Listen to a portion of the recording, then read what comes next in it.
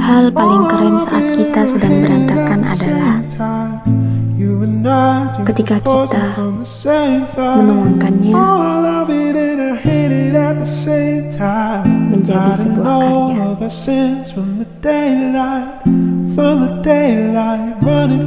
karya.